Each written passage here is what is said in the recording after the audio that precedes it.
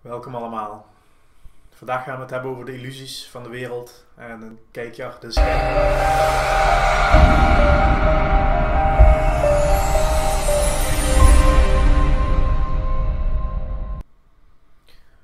Vorige week plaatste ik leuke ervaringen en herinneringen op Facebook in de vorm van foto's en een video. En dit zijn altijd dingen waar we graag massaal op reageren en liken. En dat is oké. Maar wat we op Facebook zien staat verre van de realiteit. En deze video is naast alle geïnteresseerden vooral voor de miljoenen mensen die wegkwijnen achter Facebook. Voor de velen die zelfmoord hebben gepleegd, omdat hun eigen leven ver verwijderd ligt van het beeld dat we op Facebook te zien krijgen. En omdat we allemaal in ons hoofd leven, is een van de schadelijke eigenschappen die daarbij hoort vergelijken. We denken altijd iets te missen, we denken altijd iets nodig te hebben wat anderen hebben. Of het nu materieel bezit is op het gebied van gezondheid. En natuurlijk ook niet te vergeten relaties. Het gras is altijd groener bij de buren. En vervolgens gaat het thema schuld een rol spelen. Want de schuld die we voelen, die in ons zit, moeten we of bij onszelf neerleggen, of nog vaker en nog veel liever bij iemand anders. En dan volgt projectie, wat inhoudt dat je je gevoel van onvrede, je ongeluk neerlegt bij iemand anders. En het is altijd iemand anders de schuld dat je je zo voelt. En je hoofd heeft een hele hoop redenen die dit rechtvaardigen. Want hij heeft mij dit aangedaan, zij heeft gelogen. Die terrorist heeft onbeschuldige mensen vermoord. De Belastingdienst pakt onze centen af. En ook al kan dit op wereldniveau een feit lijken te zijn, het is niets meer dan een gevoel dat diep in onszelf zit. Want de wereld om je heen is niets meer dan een uiterlijk plaatje die een inwaartse conditie weerspiegelt. Maar dat willen we niet horen natuurlijk. Nee, nee, nee, nee, nee. We leggen liever de schuld bij iemand anders neer. En daardoor oordelen we en haten we liever in de richting van iemand anders. Want dat is makkelijker. En daardoor voelen we ons ook een aantal dagen oké. En dan toch raar opkijken wanneer we een keer weer dezelfde ellendige situatie meemaken. En dan niet wakker worden met de gedachte van, hmm, zal er dan toch iets binnen in mij zijn dat zich zo voelt? Nee, we gaan gewoon keihard door met projecteren. Of we kruipen in een slachtofferrol. Oh, kijk mij zielig zijn. Hallo, hallo, ik ben zielig. Hopen dat iemand je aandacht geeft. Het is tijd om wakker te worden, lieve mensen. Want het is je hart die aandacht schreeuwt van jou. Maar jij bent alleen maar in je hoofd bezig. Met een valse zelf die je denkt dat je bent. En op dit moment, op, op dit moment geloof je in allerlei normen en waarden en ideeën en concepten. En samen vormen zij jouw ego. En je gaat er gemakshalve vanuit dat ze absoluut waar zijn. Omdat je dat zo aangeleerd is. Je hecht waarde aan dingen waar je in gelooft. Je bent er dus volledig aan gehecht. Gehecht aan een identiteit die niets te maken heeft met wat je werkelijk bent. En deze persoon, deze identiteit walst finaal over je hart heen. Het stampt het kapot. En dat is best wel bizar toch? Dat we in de buitenwereld zo hard bezig zijn met het aanvallen van een situatie of personen die ons hart lijken te breken, terwijl we ondertussen de enige verantwoordelijke hiervoor ons eigen valse zelf is. Een identiteit die niets te maken heeft met wat we werkelijk zijn. En we verdedigen deze valse zelf alsof ons leven ervan afhangt. En het grappige is, ons leven hangt er ook vanaf, maar niet zoals we in de eerste instantie denken. Want zolang we vasthouden aan deze valse ikken, weten we totaal niet wat leven is. We leven een bullshit verhaal.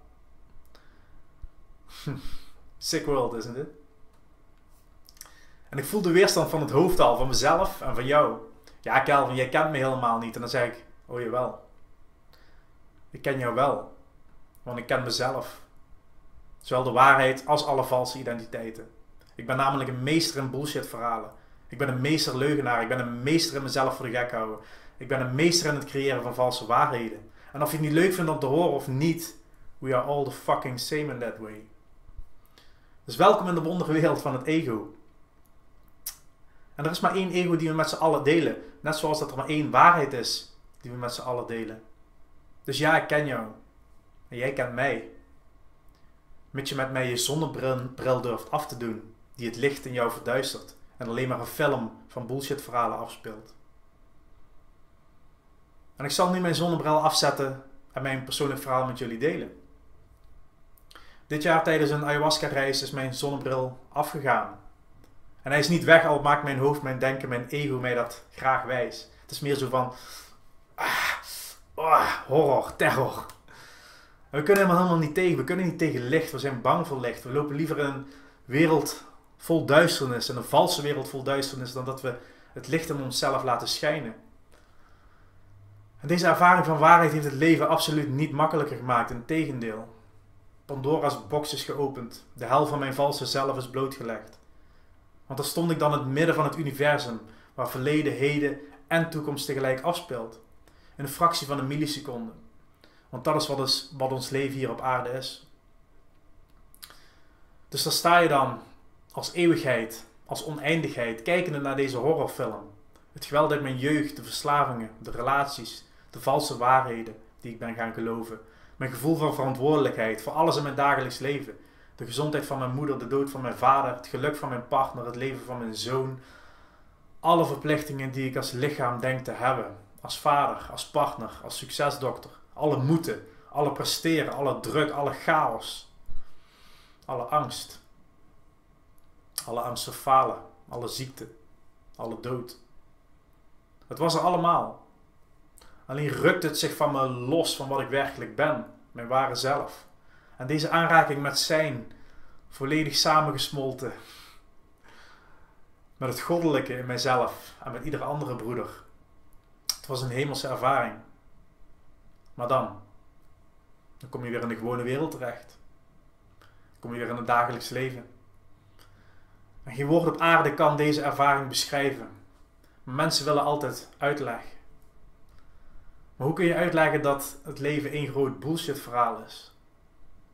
Hoe kun je het intense gevoel van vreugde uitleggen van de waarheid die je werkelijk bent? De muren van de maatschappij nog hoger dan ooit tevoren. Conflicten tussen hoofd en hart zijn opeens intens voelbaar en zichtbaar in de uiterlijke wereld, in het dagelijks leven, in mijn werk, in mijn relatie. En ik weet dat alleen stilte mij kan terugbrengen naar het zijn. Ik ken de theorie, ik ken het verhaal. Ik heb de waarheid gevoeld, maar je hoofd maakt je gek. Ken je dat gevoel? Je hoofd maakt je helemaal gek, maakt ons gek. En we zijn allemaal bang voor deze stilte. Denk maar eens aan de ongemakkelijke stilte als je een lift binnenloopt, of, of de ongemakkelijke stilte uh, van een date. En dit is niets meer dan een weerspiegeling van de angst voor je ware zelf, van de angst die in jezelf zit. En deze kun je alleen voelen in de stilte. Deze kun je alleen ervaren voorbij je denken. Dus de reis naar mijn ware zelf gaat verder. Nog meer de stilte in. En nu maanden later, vrijwel dagelijks voelbaar, al is het maar een flits, al zijn het maar secondes. En vanuit deze bron ontstaan er andere levenssituaties, andere relaties. Met familie, met partner, met vreemden. Echter, oprechter. Je komt los van je gehechtheden en soms is het nodig om geliefde los te laten. Ze de ruimte te geven om hun eigen vleugels te spreiden. En te gaan ontdekken wie ze werkelijk zijn. Dat is loslaten. Dat is liefde. Ook al doet het vaak pijn. En ook al is die pijn ook vals. Het is de pijn van het hoofd, het is de gehechtheid die we hebben. En het hart is nog steeds in volle liefde aanwezig. Zonder oordeel, zonder belangen, zonder verlangen. Het is. En de betekenis die ik voorheen gaf aan objecten, gevoelens en ervaringen, voelen minder belangrijk. Want het is een onderdeel van mijn personage, mijn rol, mijn valse zelf. En zonder dit alles voelt het veel lichter. Creativiteit neemt toe, geïnspireerde ideeën ontstaan. En het zijn is nog mijn enige echte doel hier op aarde.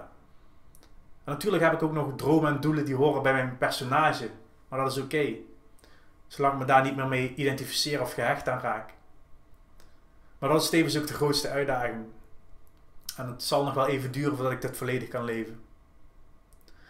Maar de waarheid heeft zich getoond. De waarheid is voelbaar. Ik heb de waarheid gezien en mogen proeven. En het is klaar om met deze waarheid naar buiten te komen.